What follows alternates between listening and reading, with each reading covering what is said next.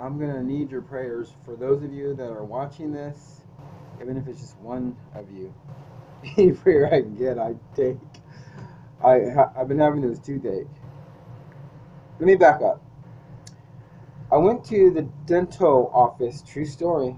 I went to the dental office to get my teeth cleaned. I think it was January, and um, you you call him the doctor, the dentist, right? The lady, the dentist. She was a heavy set Latina woman, probably in her 50s. And don't think I'm putting them down because I actually fell in love with one like that, right? Latino, heavy set, in her 50s. Hi, Nay. Anyways, let's not get off track here. I went in there to get my teeth cleaned. And I have, to go, I have to go to the dentist again because I'm having a toothache. From a filling they put in, it's killing me the last two weeks. And I'm going to explain why I think it's possible that they're using technology to make it hurt. Now, it's possible it's just a, fill, a filling that hurts. That's possible too. I'm not crazy. I'm, my mind's open. That's just all it is. My mind's open. But when people hurt you, you do second, second guess them. I'll tell you why.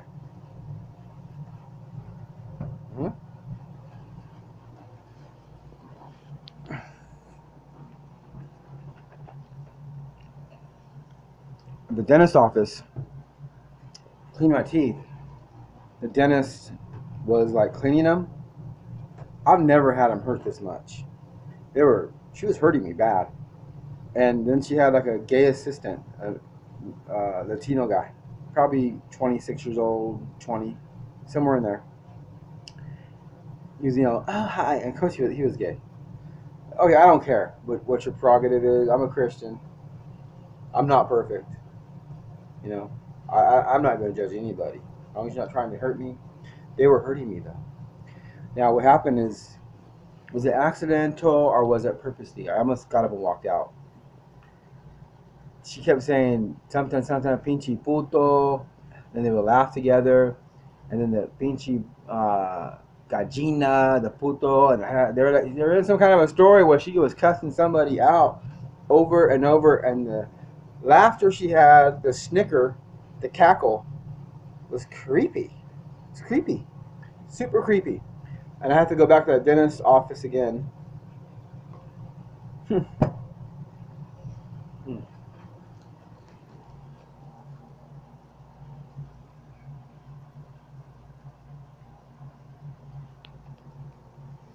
After three months, peace because now suddenly a feeling they gave me past two weeks it's been killing me. It's been hurting so much. I have to gargle mouthwash all day long. So I'm asking for prayers for anyone. Pray for me as a human being, as a fellow Christian. I'll do my own prayers. I'm going to pray directly to God Himself. Bible says, "Do not pray to man. Do not pray to Jesus." Christ said, "Pray to the Father Himself directly in Christ's name." We're not even supposed to pray to Jesus. I'm praying to the Heavenly Father, and I'm going to say, "In Christ's name, protect me," because I don't trust that dental office, and I don't know where else to go. Okay, I don't have much time to make an appointment. This thing's hurting so bad; it's killing me. A lot of pain. And they've always been good to me there. I'm going to tell you the truth. I went there. I love that dentist place. They've been so they've been the fillings. They they've been courteous, prompt, great job. So I'm not some crazy asshole on a on a witch hunt here. Okay, excuse my French, but when I uploaded some Illuminati videos last summer, around September-ish, mostly about my ex-girlfriend. Her name's Elizabeth. Elizabeth P. Let's just say her Elizabeth. Her name's Elizabeth P. For now, her last name begins with a P. Okay, it's P A N. Pan. Let's say Pan. Elizabeth Pan. And I'll tell you the rest of it. And if I die, my family will tell you the rest of it. She's going up because I, I know she has. Uh, she's dated a lot of cops and stuff. I, I, I'm, I'm, I'm getting off track here. Let's just stay on track. Forget about her. When I uploaded her video, is when things started to come undone. Okay, I went to the emergency room in December, and they've always been good to me at Mercy Hospital. And uh, they gave me an IV, that made me vomit and uh, well, I can't control my bowel movements. Let's put it that way. Never did. They never ever treated me that way before. They were they were rude to me. They were fake. It took them four hours when I had an asthma attack to see me. Four hours to see me during an asthma attack. I mean, by the time they got in there, I was almost healed. They wouldn't give me no dinner. I had for 24 hours. They gave me no food, no water. I had to drink from the hand sink. But if you ask the cop that came here to save me the other night, he'd tell you I'm crazy. Sorry about that. There's been a lot of weird people, a lot of freaks. See, I, I just I'm not really into that hurting kind of people thing, you know, where people are really into hurting people. I'm just not into that. I don't get it. I don't get it. I'm not down with it, you know. And lately, there's been a, a bunch of weird people that are into that. Hmm? Mm-hmm.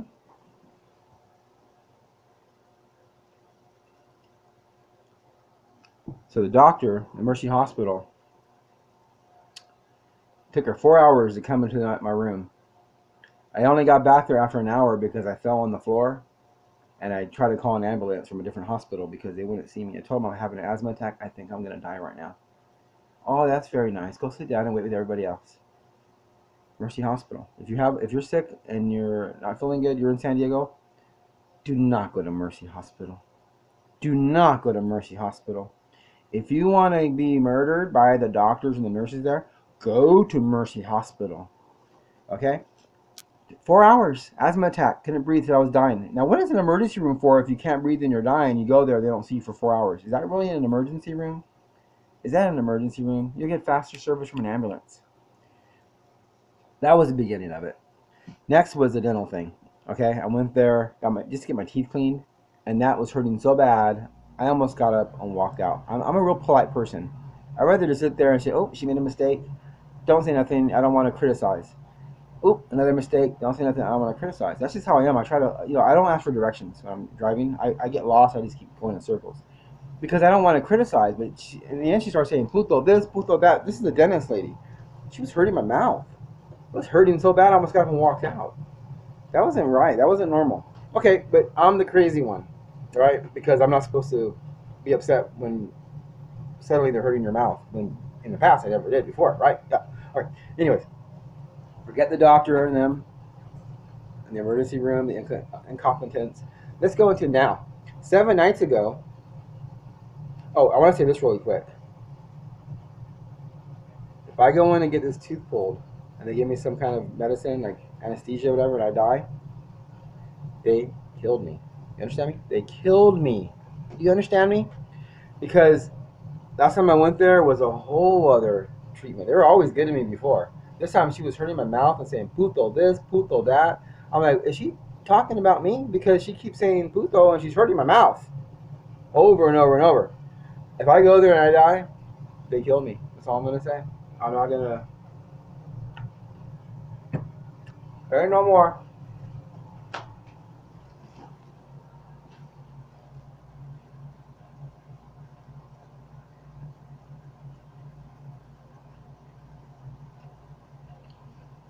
I'm watching gang stalking videos where they're saying doctors are in on it, police are in on it. These are other people saying it. Now, you don't have to tell me that. I've been seeing this lately myself for the past six months. There's a Mercy Hospital with the asthma attack incompetence. They gave me some IV that was making me sicker, sicker, sicker. Wouldn't give me food, wouldn't give me water. 24 hours, had a bag, had to drink out of the hand sink. Then there's a dentist. I go there get my teeth cleaned. It's some of the worst pain I've ever felt. Puto this, puto that. What kind of a, of a, of a dentist works on someone's mouth? And I'm going to get her name. And her name is going up, and her picture is going up. You know, why not? They do that to other people, don't they? Well, it's going up and she hurt my mouth, puto this, puto that, and um, I'm going there to get a tooth pulled or get this problem fixed. I don't trust that place now. But where else am I going to go? I don't have much time. Plus, you know what? I figure if it's gang stalking, it's so huge now, according to everybody else. Really, any place I choose is pretty much going to be in on it. And I'm not paranoid. you don't know me. I'm all, I'm actually always pretty calm. I'm pretty calm, pretty pretty uh together, pretty relaxed, and pretty confident. what's happening now is that I'm starting to get different kind of treatment, and that makes you start thinking like, hmm, you know. But okay, let's forget the treatment. Let's just say that the, this is okay. Let's, pay, let's, let's let's play devil's advocate. Say the hospital was incompetent, had an asthma attack. That's procedure. They wait four to five hours before they treat someone, because usually when you have an asthma attack and you say you're going to die, you probably just don't die. It never happens, right? We'll go with that scenario, and let's go with the dentist scenario. She hurt my mouth and she was saying puto this, puto that, but she wasn't talking about me.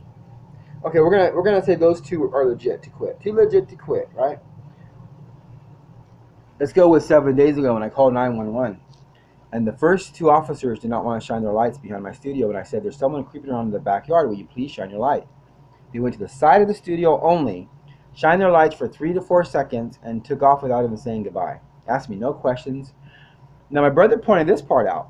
When I called 911 the third time and got more police to come here and check again, because the first two cops didn't check like they were supposed to, incompetence. And the cops came and they cornered me and they said it was me and I was I was psycho and crazy and, and I was hallucinating and all this and that and I better go upstairs and take what's coming to me pretty much, right? And if I call them again, they're gonna arrest me themselves. My brother pointed something out.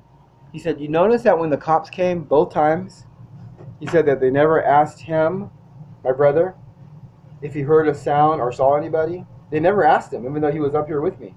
And that cops don't normally do that. They normally separate you and they start asking you both questions. They never asked my brother if he heard anything, if he saw anything. They surrounded me, they cornered me, and they just began attacking me. Right away, before they even met me, before they even said hello, the first thing the, the officer said on the second trip, the sergeant, he said, You didn't even see anybody, did you? Did you? That was the first thing he said to me. He never introduced himself or anything. That was rude. I'm calling as a victim. I'm putting my trust into this man to come to my yard. I'm putting trust in this guy. He's getting paid taxpayers' money to serve us. We're in danger, he's supposed to come serve us. He's the servant, not me. I'm not on the payroll. I'm a citizen. I'm an American citizen. If I'm calling for help from a cop, then they wonder why everyone's screaming murder with the police. The police want it both ways. They want to be able to kick you in the face, but then they don't want no one to say anything. When he came out here, the cop was rude to me. He started started right, right away calling me a, a lunatic, making stuff up. Like I want to be up at four in the morning making shit up. You know, I could I'd rather be there asleep counting counting sheep. My brother pointed something out the next day. He goes, you know, I did realize something though. I thought you, you were making this stuff up. I didn't know what was going on. I was gonna pack up and go. But when that 911 third call came in, I heard that really weird voice, he said. And then he said when he heard the person bolt away, he knew there was something up. And then he said, then it, it dawned on my brother, this is what my brother told me, it dawned on him that the officers never asked him anything. Did he hear anything? Did he see anything? And they, they don't normally do that. They don't normally do that. Anyways, thanks for watching. I'm going to the dentist to get this toothache taken care of. Um, and the guy who keeps giving me a thumb down, I, I think that when I get find out who hacked into my phone, I got the date. I'm gonna get my own detective on this, a private detective, and I'm gonna actually pick one and then not go to him. Pick one. I'm gonna I'm gonna be throwing you guys off. I'll pick the one that God tells me, the Holy Spirit convicts me on, and that's one I'm gonna pick. When once they can tra- track who hacked into my phone, at 3:40 a.m. on April 18 on a 911 call. Why would someone hack into my phone and say you're not going to get any help? Right when the 911 operator came on and said 911, what's your emergency? Same time. When I find out, when I can prove that someone hacked in there, even if I can't find out who did it, if there's any kind of riffle, if they say, well, someone hacked in, we just can't find out because they covered their tracks, but someone did hack in, that's going to be evidence right there. And I'm going to tell you something else. Who's ever watching me on YouTube with their IP addresses, people that I don't, I don't know. Because I'm only getting like 10 to 15 views on some of these videos, and I'm getting a thumbs down. I know that the perpetrators, my gang stalkers, are watching my videos. And their IP addresses, if their IP addresses are being blocked or not coming in, that's going to be more evidence. It's going to show you that why would someone block their IP addresses to watch my gang stalking videos? And if their IP address is showing up and it happens to be neighbors in the condos and across the street, that will be very interesting because they don't even know me, supposedly and they don't even know my name, supposedly. And even if they do, they don't know my channel. There you go. Thanks for watching. I'm gonna, I'm gonna um, mind my own business, but I am a victim, and I'm new at this, and now I know they try to come here to kill us because they came here. Someone came around at one in the morning and was trying to be sneaky, and got caught. And you don't come to someone's house at one in the morning and make your way toward their back windows unless you're planning on killing them. Okay, my lights were on. They knew we were, we were home. They knew there was people in here. And you don't come here unless you're planning on killing someone. That's how I see it. And you can shoot me through the window. So if you're trying to come inside my place, that's telling me something else. That's telling me that not only are you trying to kill, but you're trying to get access to inside my place so you can make it look like you, no one killed me. I'm thinking that you want to set it up as a suicide. That's that's that's just common sense. And then you want to probably put some illegal substance in my place. Well, you know, I'm telling you something right now. This is what's going on. And um, the people next door in the condos and across the street, it's it's it's light, it's slight, but they made some mistakes, and I guarantee you, when this is over, I'm gonna be dead, and people are gonna know that they did it. I will never, ever, ever, ever, ever commit suicide. And if I do, I'll have months and months of videos of me saying it first without a gun being pointed to my head. I won't be have a black eye or anything. But I'm not gonna commit suicide. I'm not gonna commit suicide. I'm not gonna vanish. I have no plans to vanish or commit suicide or hurt anybody. And I'm not gonna stalk anybody. I'm not gonna attack anybody. I'm not gonna break any law. I might jaywalk. I might get a speeding ticket. And that's about it. So I'm telling you, any plan you got, any plan you got, telling you, anything happens to me, any everyone watching this, everyone watching this needs to know, I'm not gonna kill myself. I'm not gonna kill anybody. I'm not gonna hurt nobody. There's gonna be no perpetrator coming here for a robbery for a TV set that's gonna accidentally kill me. I'm I, I'm being set up by, by the next door neighbors who's, who's gang stalking me and across the street because I got some knowledge I came across on accident and I tried to make a deal. I said I wouldn't talk about it. Have they just leave me alone and get away from here? And their answer was to send someone to my window to try and sneak in the window and kill us. That was their answer. That's the answer I got. And I'm telling you, I got friends that are looking out for this. They're watching to see what move happens. They know I'm not going to kill myself. They know I'm not going to vanish or disappear. They know I'm not going to go attack anyone over there. I'm not going to commit no crime. I'm not going to looking in no one's window. Nothing. Anything you say is a lie. A lie. I'm telling you, you're going to get caught. You're going to get caught.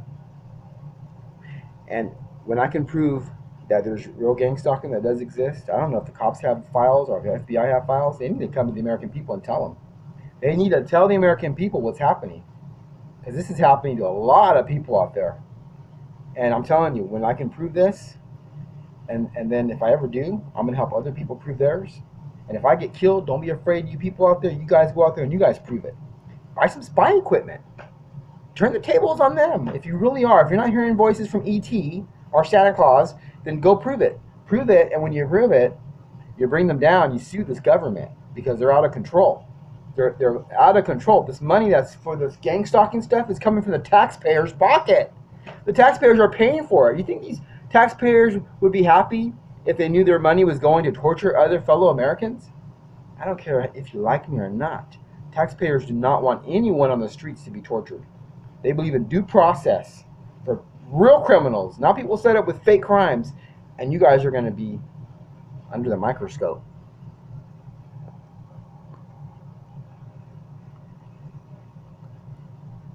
Thanks for watching.